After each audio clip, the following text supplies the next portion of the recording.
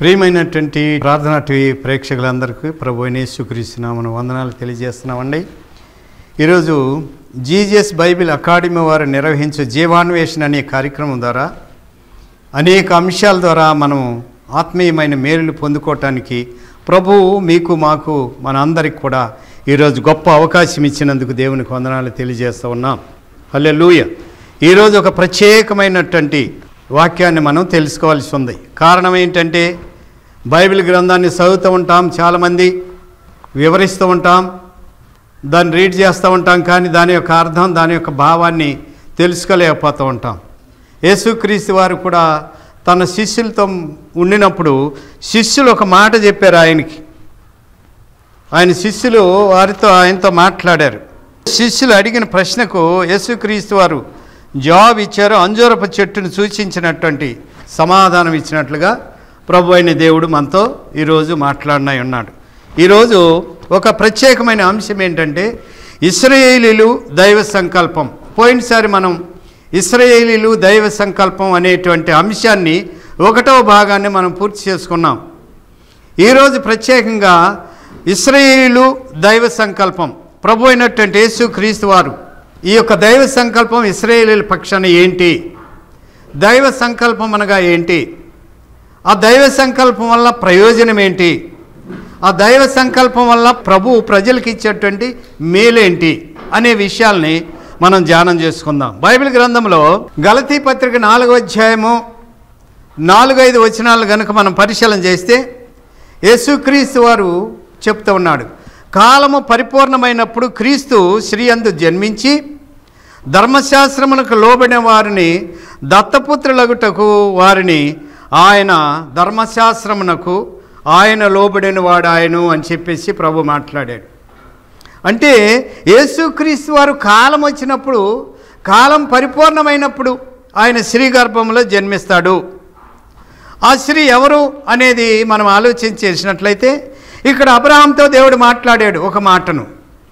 ఏం చెప్తున్నాడు? అబ్రహాంకు దేవుడు వాగ్దానం చేసి ఆయన అంటున్నాడు ఆ వాగ్దానం చేసినప్పుడు నీ సంతానమునకు నా అంటే సంతానమునాలకని అనలేదు కానీ నీ సంతానమునకు అనేను. సంతానాలకు అనలా.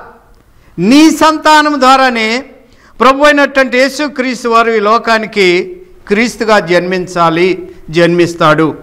గలతీ పత్రిక మూడు పదహారులో ప్రభు అయినటువంటి దేవుడు చెప్పాడు. ఆ సంతానమే మన యేసుక్రీస్తు వారండి. మనం ఆలోచించాలి.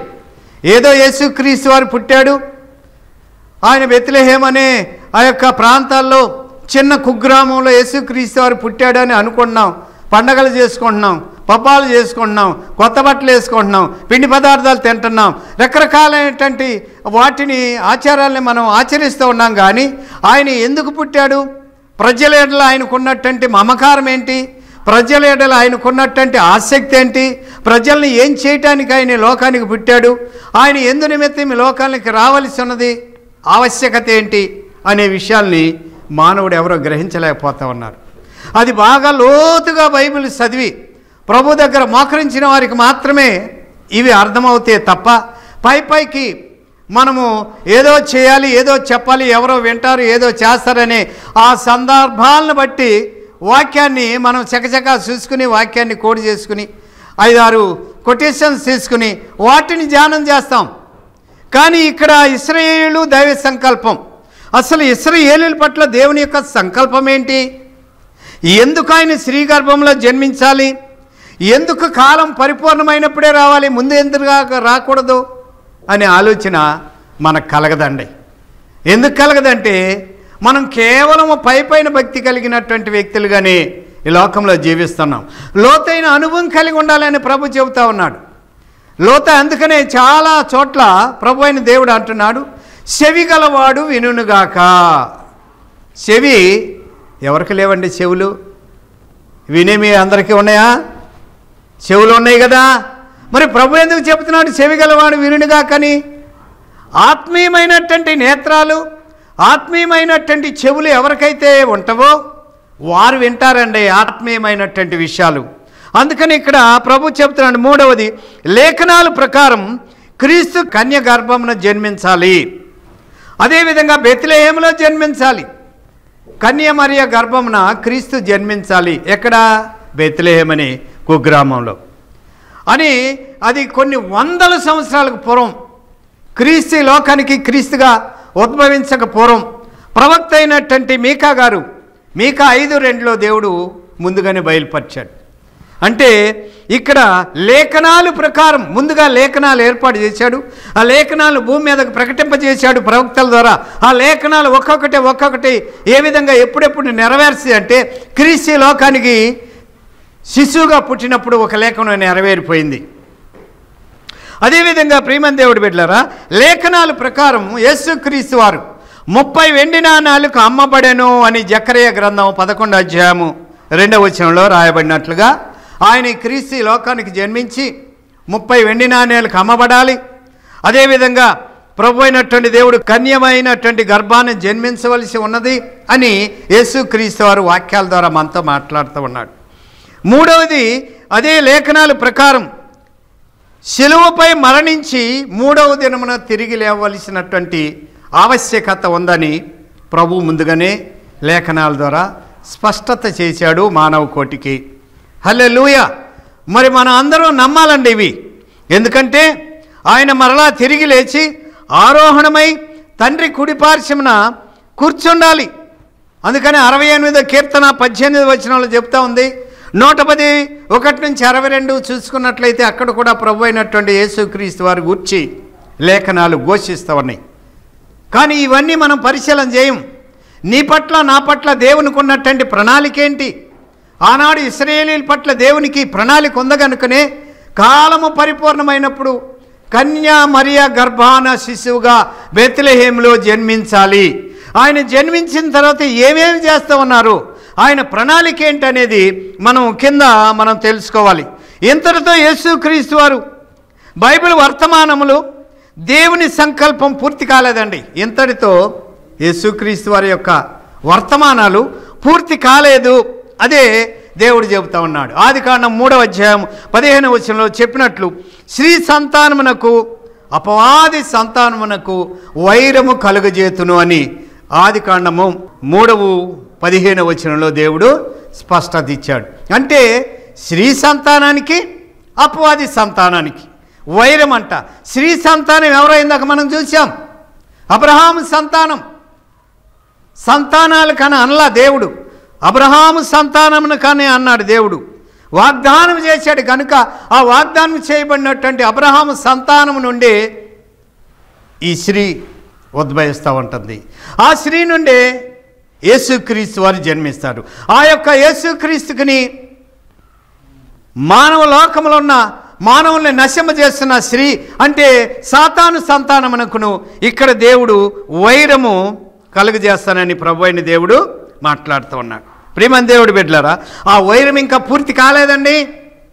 ఈ వైరం ఇంకా పూర్తి అవ్వలేదు. కారణం ఏంటంటే ఈ లోకాధీశుడు ఉన్నాడు ఇక్కడే. ఈ లోకాధీశుడు ఉన్నాడు. వాడే ఇప్పుడు లోకాల్ని పరిపాలిస్తున్నాడు. అన్యాయం చేపిస్తూ ఉన్నాడు. అక్రమాలు చేపిస్తూ ఉన్నాడు. మోసం చేపిస్తూ ఉన్నాడు. దొంగతనాలు చేపిస్తున్నాడు. వ్యభిచారాలు చేపిస్తూ ఉన్నాడు. మానవులు ఒకడిపై ఒకటి పొందిక లేనటువంటి పరిస్థితి కల్పిస్తూ ఉన్నాడు. నరహత్యలు చేపిస్తూ ఉన్నాడు చీకటి పనులు చేపిస్తూ ఉన్నాడు. ఇవన్నీ ఇంకా వైరము మిగిలా. స్త్రీ సంతానం మరే సంతానానికిని సాతాను సంతానానికిని వైరము కలిగజేస్తానన్న దేవుడు ఇప్పుడు వైరంలో ఉంది దేశం. దేశమంతా వైరంలో ఉంది. దేశమంతా దుఃఖంలో ఉంది. దేశమంతా కూడా ఒకరిని ఎప్పుడు మెరుగుదునా? ఒకరి దేశాన్ని ఎప్పుడు చంపేయాలా ఓ దేశాన్ని దేశాన్ని బూడిద ఎప్పుడు చేయాలా?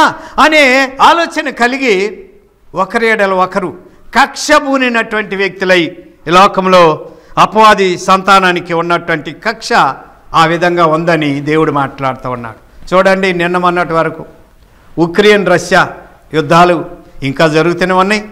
ఇస్రాయేల్కును అవతలపును ఉన్నటువంటి ప్రదేశాల వారికి యుద్ధం జరుగుతూనే ఉంది. మరి వారి కొన్ని కోట్ల ఆస్తి నష్టమైపోతుంది. వీరికి కొన్ని కోట్ల ఆస్తి నష్టమైపోతుంది. ప్రాణ నష్టం జరుగుతోంది. ఇవన్నీ జరిగినప్పటికీ ప్రియమైన దేవుడి బిడ్డ నువ్వు ఆలోచన ఎప్పుడైనా చేసావా? నీ పట్ల దేవుని ప్రణాళిక ఏంటని అడిగేవా? ఈ అపాధి సంతానానికి శ్రీ సంతానానికి వైరం జరుగుతూనే ఈ లోకం జరుగుతూ ఉంది. అదే యశ గ్రంథం తొమ్మిదవ అధ్యాయం ఆరు ఏడు చూసినప్పటికీ లోకాసవార్త ఒకటి ఇరవై ఆరు వచనం దగ్గర నుంచి ఇరవై తొమ్మిది వచనం ప్రకారం మనం చూసినప్పటికీ దావీదు సింహాసనమును స్థాపించి ఇస్రాయేలీకి రాజ్యాన్ని దేవుడు అందించాలి. అది ఇంకా జరగాలి. అది దేవుని యొక్క ప్రణాళిక. దావీదు సింహాసనాన్ని దేవుడు స్థాపించాలి.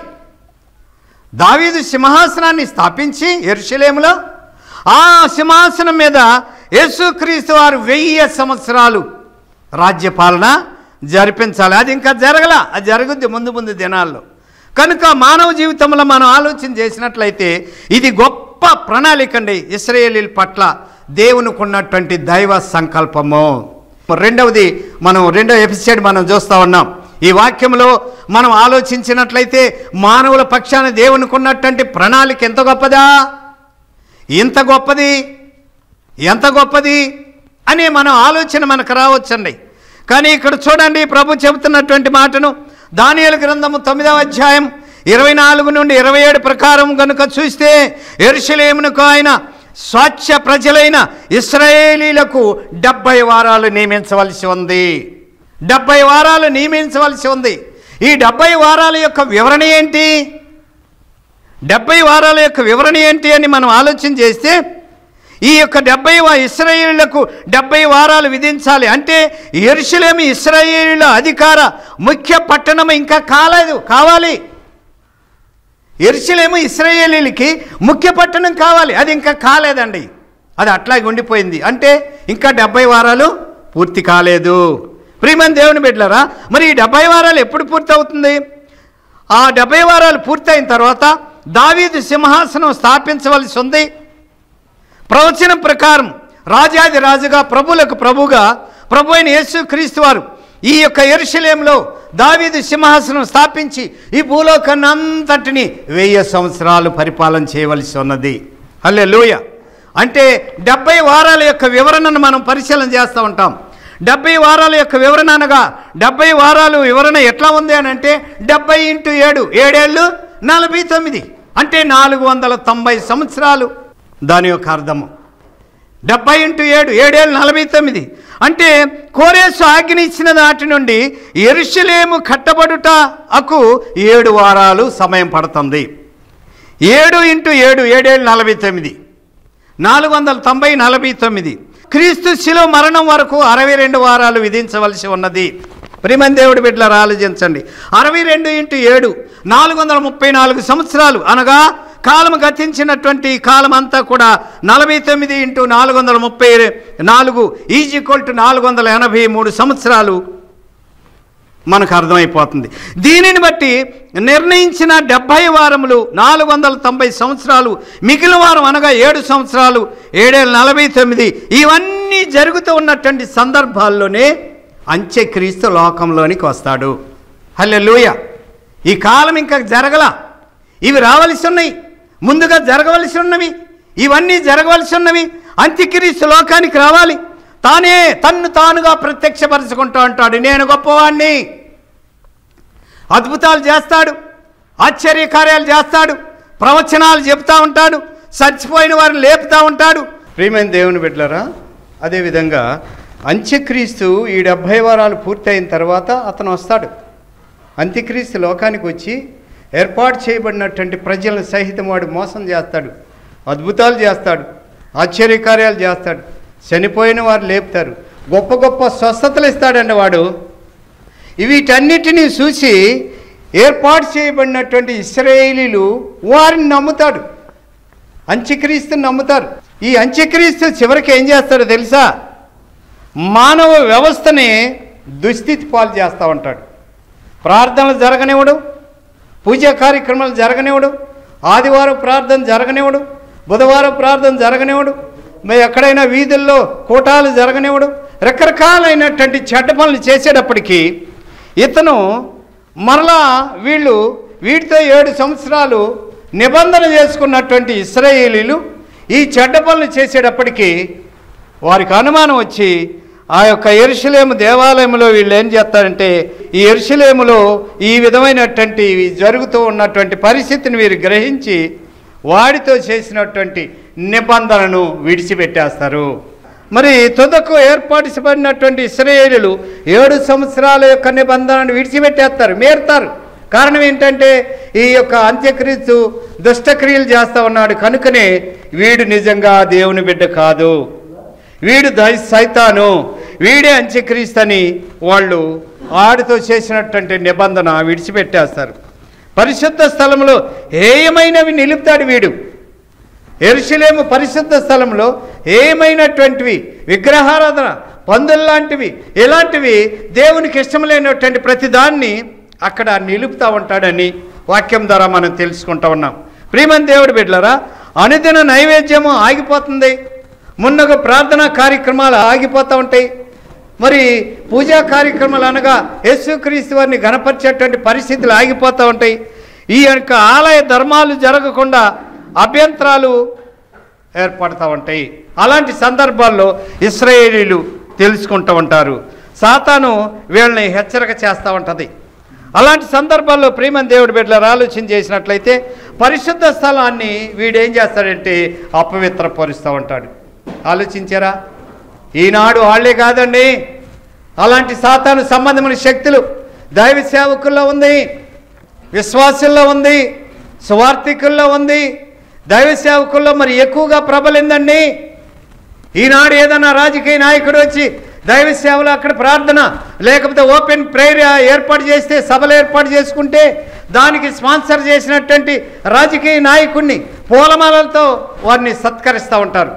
స్టేజీల మీద ఎక్కించి వాడిని సన్మానం చేస్తూ ఉంటారు. ఈ సన్మానాలు ఈ కార్యక్రమాలు ఇచ్చి పుచ్చుకోవటం అంతా అయిపోయిన తర్వాత అప్పుడు వాక్యాన్ని చెప్పిస్తూ ఉంటారు. అంటే ప్రాముఖ్యత ఎవరికి ఇస్తూ ఉన్నారు? ప్రాముఖ్యత ఎవరికి ఉన్నాం మనం? మరి పెద్ద పెద్ద పేరు మోసినటువంటి దైవ సేవకుల్లోనే సాతాడు చొచ్చుకుపోయి ధనము కొరకు వారు ఇచ్చేటువంటి గిఫ్టుల కొరకు వాడు పెట్టేటువంటి తిండి కొరకు వీడు ఆశపడి దేవుణ్ణి గణపరచడం విడిచిపెట్టేసి రాజకీయ నాయకుడిని గణపరిచి వాడు వెనకాలే వాడు పడేసినటువంటి ఏంగిలి భోజనాన్ని కొరకు పరిగెత్తా ఉన్నారండి మరి ఆనాడు ఇస్రాయేల్ని చేరినటువంటి అంత్యక్రీస్తు రావాల్సి ఉన్నదంటే అంత్యక్రీస్తు అబద్ధ బోధకులు అబద్ధ ప్రవక్తలు ఈనాడు ప్రజల్లో చొరబడి ఉన్నారు. దాన్ని నిజమైనటువంటి క్రైస్తవులు గ్రహించగలిగి ఉండాలి అని ప్రభు అయినటువంటి యేసు క్రీస్తు వారు వాక్యం ద్వారా మనతో మాట్లాడుతున్నాడు. ప్రియమన్ దేవుని బిడ్డలారు ఆలోచించండి. ఇస్రాయేలీలు కన్నులు తెరవబడతాయి అప్పుడు. ఎవరు? అంత్యక్రీస్తు ఏడు సంవత్సరాలు వీరు నిబంధన చేసుకుంటారు. మీతోనే ఉంటాం మీరు చెప్పినట్టు వింటాం అని నిబంధన చేసుకున్నప్పుడు వీడు చెడ్డ పనులు చేస్తాడు ఆలయ ధర్మాన్ని నిలిపేస్తాడు ప్రార్థన చేయనివ్వడు. అలాంటప్పుడు వీరి యొక్క ఇస్రాయేళ్ళు కన్నులు తెరవబడి వీడు సాతానుడు అని గ్రహించి వాడితో చేసిన నిబంధన విడిచిపెట్టేస్తారు. ఆ విడిచిపెట్టినప్పుడు ఈ నిబంధన కాలము మూడున్నర సంవత్సరాల కాలం అండి. ఈ నిబంధన కాలం ఎంతకాలం అంటే? ఆ మూడున్నర సంవత్సరాలు. ఈ మూడున్నర సంవత్సరాల కాలం కాలము ప్లస్ కాలము ప్లస్ అర్ధకాలము మూడున్నర సంవత్సరాలు. ఈ మూడున్నర సంవత్సరాలు జరిగిన ఆ స్థితిలో యూదులు తిరుగుబాటు చేయవలసి వస్తూ ఉంది. యూదులు తిరుగుబాటు చేసినప్పుడు వారికి శ్రమలు సంభవిస్తూ ఉంటాయి. అదే శ్రమ ప్రకటన గ్రంథంలో ఉంది. పన్నెండవ అధ్యాయము పదమూడు టు పదిహేను చూసినట్లయితే ఇక్కడ ఆ ఘట సర్పము తాను భూమి మీద పడద్రోయబడి ఉండుట చూచి ఆ మగ శిశువును కని స్త్రీని హింసించను అని ఉంది. ప్రియమన్ దేవుడి బిడ్డలారా ఆలోచించండి. ఈ అధ్యాయాన్ని బట్టి అంటే దాగుచోటు ఇస్రాయేలీలు దాగుచోటు లేక వారు రెక్కలు కలిగి ఎగిరిపోయినటువంటి ఆ స్త్రీ అంటే శ్రీ అనగా ఇస్రాయేలీని పోల్చాడు దేవుడు. ఎగిరిపోతుంది అరణ్యానికి. అంటే సాతాను పెట్టే శ్రమలను భరించేలాక ఎగిరిపోతుంది. నాశనం చేయటానికి యుద్ధం చేయటానికి ఆగమన ప్రకారం క్రీస్తు రెండవ రాకడలో క్రీస్తు విరోధి లోకాన్ని నాశనం చేయటానికి వాడెంతగానో కుతూహల పడుతూ ఉన్నటువంటి సందర్భాన్ని మనం ఈ బైబిల్ గ్రంథం ద్వారా తెలుసుకోవాల్సి ఉంది. అదే కాకుండానండి యేసుక్రీస్తు వారు దాని సైన్యం అంతటిని నాశనం చేసి ఎరుశలేములో దావీదు సింహాసనాన్ని స్థాపించి సమాధాన రాజ్యమును ఏర్పాటు చేసి వెయ్యి సంవత్సరాలు దావీదు సింహాసనం మీద కూర్చుండి ఆయన ఈ దేశాన్ని ప్రపంచాన్ని వెయ్యి సంవత్సరాలు పరిపాలన చేయవలసినటువంటి అగత్యం ఉందని ప్రభు అయిన దేవుడు వాక్యం ద్వారా తెలియచేస్తూ ఉన్నాడు. ప్రియమైన దేవుడు బిడ్డలరా ఇది నెరవేరవలసి ఉన్నచో ఎరుసలేము ప్రస్తుతం జరుగుతున్న సంఘటనలో ఇది నెరవేరవలసి ఉన్నటువంటి కాలం ఇంకా ఉంది.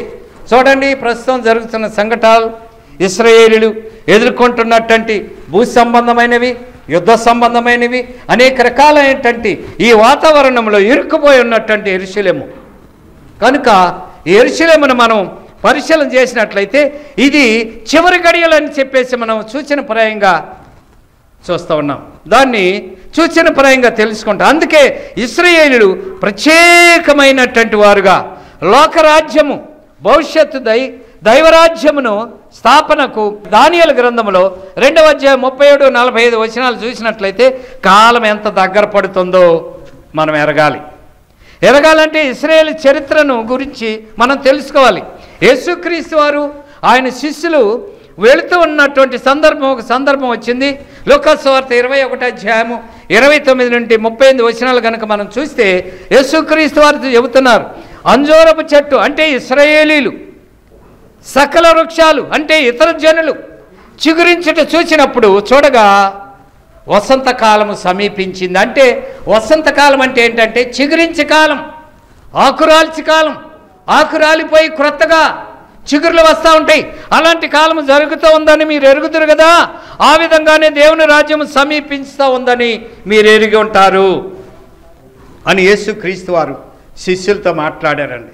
చూసారా? ఇప్పటి వరకు మనం తెలుసుకున్నటువంటి వాక్యం ఏ విధంగా ఉందో అనేది మనం తెలుసుకోవాలి. ఎందుకంటే ఇస్రాయేలీల పక్షాన దైవ సంకల్పం ఈ విధంగా ఉంది. అంటే కాలము పరిపూర్ణమైనప్పుడు కాలము సమీపిస్తూ ఉన్నప్పుడు యేసుక్రీస్తు వారు స్త్రీ గర్భంలో జన్మించవలసి ఉంది అదే ధర్మశాస్త్రము లోబడిన వారు దత్తపుత్ర ఆత్మను తొలగించి మనల్ని పుత్రులగుటకు ఆయన ధర్మశాస్త్రమునకు లోబడిన వాడిగా ఈ లోకమునకు వచ్చినట్లుగా మనము ఆయన ధర్మశాస్త్రాన్ని నెరవేర్చి కొట్టివేసి శిలుపై మనల్ని పరిపూర్ణమైనటువంటి తన బిడ్డలుగా మార్చారండి. అది దేవుని యొక్క సంకల్పం మానవుల పక్షాన. కనుక మన జీవితాల్లో ఎప్పుడు కూడా యేసుక్రీస్తు వారి యొక్క స్థితిగతులు అన్నీ కూడా ఆయన చెప్పేటువంటి వాక్యాలను మనం అంచనా వేసుకుని ఊరికే చదివి వదిలిపెట్టకూడదండి. వాటిని ఎప్పటికప్పుడు నమర వేసుకుంటూ వాటిని చదివినటువంటి స్థితి మనకు ఎప్పుడైతే ఉంటుందో అప్పుడు మాత్రమే ప్రభు అయినటువంటి దేవుని వాక్యాల్ని మనం తెలుసుకుని ఆయన మార్గంలో నడవగలుగుతాం. అట్టి కృప దేవుడు మనందరికీ కలుగజేయనుగాక ఆమెన్. దేవుడు తన వాక్యమును దీవించునుగాక. ప్రార్థన ప్రేమ నమ్మకమైన తండ్రి పరిశుద్ధుడా. ఇస్రాయేలీల పక్షాన మీ సంకల్పం ఏ విధంగా ఉందో. రెండవ ఎపిసోడ్ని మేము ఏర్పాటు చేసుకుంటున్నాం. అది విన్నారు ప్రజలు. వారి హృదయాల్లో దాచిపెట్టుకుని నా పక్షాన ప్రభు యొక్క సంకల్పం ఏంటి అనే ఆలోచన కలిగి ప్రతివారు తన గురించి తాను మార్పు చెందేనా లేదనే ఆలోచన కలిగి మీ అందరు నమ్మకం కలిగి జీవించే బిడ్డలుగా సిద్ధుబాటు చేస్తూ మరి ఒక ఎపిసోడ్లో మేమందరం కలుసుకొని మీ అందు వాక్యం ద్వారా ఆనందించే బిడ్డలుగా చేయమని ఏ అడిగి ప్రార్థిస్తున్నాం తండ్రి. ఆమె ప్రేక్షక ప్రజలందరికీ ప్రభు యేసుక్రీస్తు నామంలో వందనాలు తెలియజేస్తూ ఈ ప్రార్థన టీవీ వారికి కూడా ప్రభు అయిన యేసుక్రీస్తు నామంలో ప్రతి ఒక్క వందనాన్ని మేము తెలియజేస్తూ ఉన్నాం.